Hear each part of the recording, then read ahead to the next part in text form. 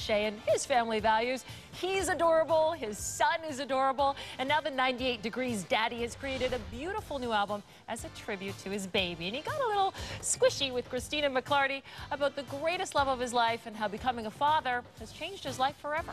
With my father's lullaby, now it's yours like it was mine.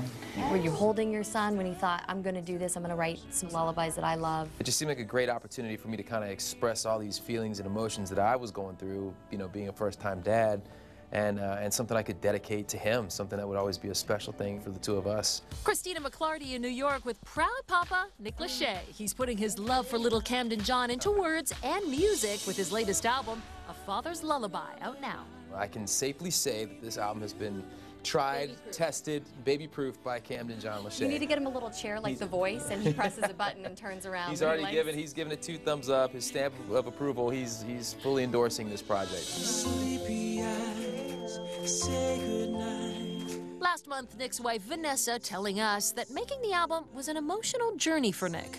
It's beautiful. One of the songs in particular, um, he literally was in the studio and got choked up. I mean, there were certain songs when I was recording them, I couldn't even, I'd have to leave the, the booth and just compose myself because it was such an emotional, emotional thing, you know, to think about him and all the stuff that leads up to you know, your son being born and then all of a sudden he's there and you're holding him and you're singing to him. It's just, uh, it's a pretty awesome process. There's nothing else you'll do in life that, that feels like that. He's one of those people that was born to be a dad. He slid right into the role.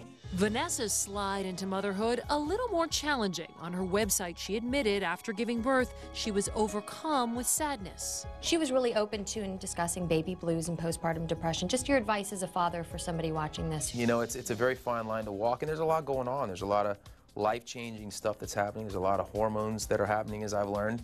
And it's about being, really just being a support system. I think as, as a man, all you can do is just to be supportive, and, and like anything else in your marriage, you just have to be there for him. By the way, he has his hands full because he's about to head out on tour, as we mentioned, with his group 98 Degrees, along with Boyz II Men and New Kids on the Block, starting May 28th. It should be a great concert tour for the ladies. it's going to be a lot of fun. also for the ladies, Brad Pitt